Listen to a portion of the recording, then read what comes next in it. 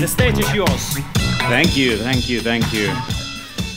Ladies and gentlemen, my name is Teemu Arina, and I'm the curator of Biohacker Summit. I'm also the founder, one of the founders and biohacker in residence at the Biohacker Center.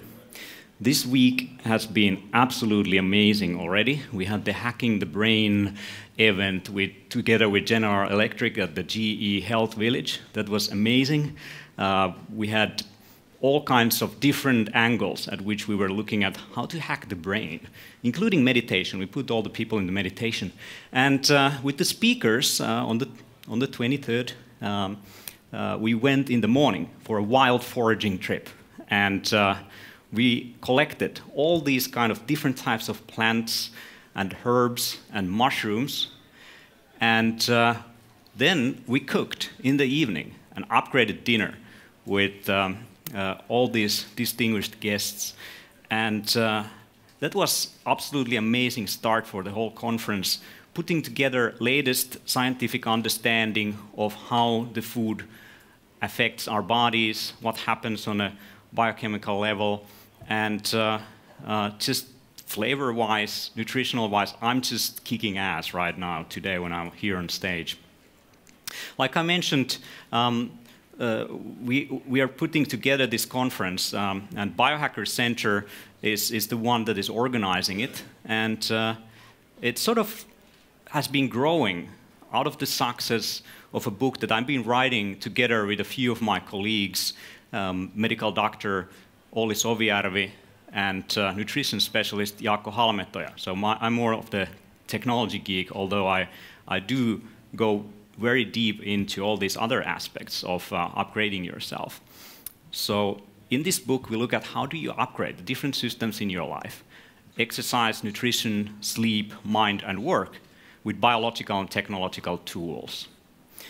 And uh, this is, uh, I, I, would say, almost like a manual for how to live your life uh, to the fullest, uh, be healthy, uh, be well, and uh, wake up every morning uh, as the best version of yourself. Biohacking is the art and science of optimizing your body, mind, and performance with systems thinking, biology, and technology. I mean, my body is, uh, is a system, and there are different inputs and there are different outputs in terms of my performance. And uh, I mean, we can use technology in different ways, but what I find intriguing and interesting is what we can do with information today and information technology. How do we connect nature with technology and machinery? If you just think about it, we are information. Information is in the biochemical messengers between our cells. It's in the electric activity in our nervous system. It's in our genes that want to copy forward. It's in our epigenetics, our environmental factors are, that are changing and affecting us and can affect our offspring as well. It's in our interaction, it's in our language, it's in our conversations, our micro movements, it's in our behavior. All these things can be tapped into, can be mined. I would say information is the oil of the 21st century. And it's going to be as important resource as we go forward as oil has been to the Industrial Revolution.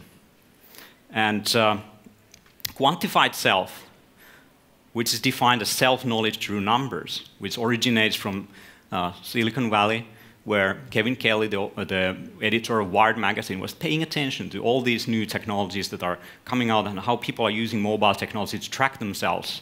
You can track all kinds of things today with these different kind of wearable sensors, implants. I mean, you can do traditional lab tests as well and self-measurements on paper or whatever notebook you have. But what I find interesting is how can we tap into that vast amount of data that we can gather today. I'm having a biometric shirt right now that shows that my heart rate is at 92 and my breathing rate is at 11 and my calorie consumption today is 259 and I see my day so far.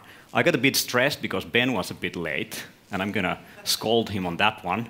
Uh, I'm going to put him making some push-ups on stage. I'm going to enjoy that very much. Uh, but uh, I have the data to prove it, that that happened as well. And um, the relationship between quantified self and biohacking is very interesting. I mean, biohacking is really all about the self-experiments, biohacks, different kind of systemic interventions into your biological machinery, uh, or whatever we call it. And um, you might have a hypothesis that if I do this, that might happen. But you don't know until you try. You might have scientific understanding of it, you might read research papers, you might ask different kind of experts, and so on. But really, uh, you don't know until you test, and that's where quantified self comes into play. It's all about gaining a more like an outsider view into what you're doing and who you are. It helps you to uh, get a map of yourself, draw a map of yourself, and then use that map to formulate even better self-experiments. And this whole process is a learning experience. It's a, it's a learning process that continues where you start from, you end up somewhere else. And that I find very interesting. I, just recently, I came back from Germany. I got the Leonardo Award on the steps of Leonardo da Vinci. From, it's under the patronage of European Union and UNESCO for my life's work in learning. And that was from 2000 to 2010. Now I'm working on biohacking, and I see that as an extension, the next step for uh, taking ourselves to the new, completely new level in terms of learning as well. In the educational circles, they don't really look at food, sleep, and all those different things, exercise, the capabilities, basic capabilities really enable you to learn. They just think of tools, pedagogy, and so on. But what this really enables is feedback loops. You get a mirror of yourself through these technologies, through different ways of mirroring what you're doing. You can use other people for it, but you can also use data for it. So I think we are in an era where we will see biology and technology merging, matter and bits coming one, where analog and digital is no longer a distinction when we look at technology. Technology is getting into our bodies. It's moving from our desktops to our pockets, to our clothes, and then to our bodies. And um, there's people who are, I mean, more to the technology side, and they don't look very well at those who are on, um, uh, I mean, the, the, the, people who are very naturalistic and, uh, you know, enjoy just experiencing things. They sometimes look technology as, you know, something alien to us humans. But if you think what technology it is, uh, it's really created by us. What is flowing inside a computer is bits. Those are our thoughts. The technology doesn't exist without us. And uh, we can use all these capabilities to take ourselves to a completely new level, to transcend what it means to be human. And we have an exciting lineup, starting from all kinds of aspects that can help us to take our human condition to a completely new level. I think we have the opportunity, we have the technology. Uh, uh, Homo sapiens, since we have been you know, using tools, um, throwing stones, setting up fire, creating language, industrial revolution, computers, all of those things. The interesting thing about all those things is that I think it's our destiny to merge with the technology that we are creating. And uh, when I think of biohackers, one of my favorite biohackers is really Bruce Lee. I mean, he says, to me, the function and duty of a quality human being is the sincere and honest development of one's potential. He's a true master of all these things. What's that sound? Sorry guys, I think we have some kind of like uh, interruption of the transmission here. Whoa, the lights went off. What's going on here?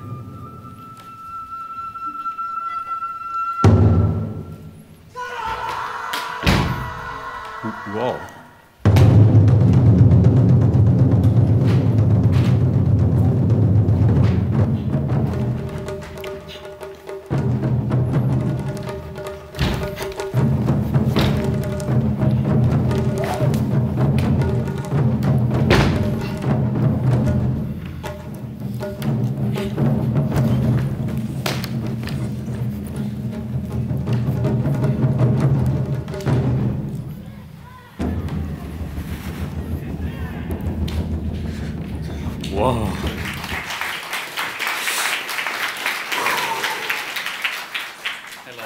I don't know where you came from, but uh, that almost gave me a heart attack.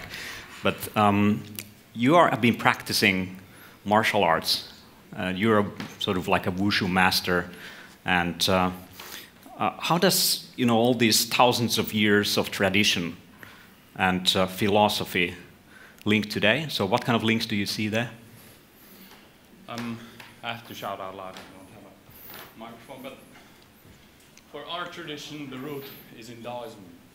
And the Taoist priests, thousands of years ago, they started a, a system of biohacking by doing experiments on themselves, which is pretty much what you're talking about now. So now we live in 2015 and some thousands of years ago, the Taoists started this tradition of conditioning the body, conditioning the mind, and trying to find this mythical internal and external elixir to improve health for longevity and hmm. simple conditioning. So they were basically already systems thinkers, just like yogis and long-term meditators, uh, all people who are extremely interested in how does this system work, different kind of ways of understanding that.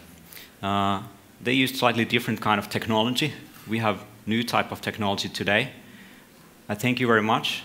I think it's time for Ben Greenfield uh, to come on stage and uh, get everyone else, you know, the heart bumping and uh, reconsidering how you go through your day. So I guess uh, that's what we're going to do next.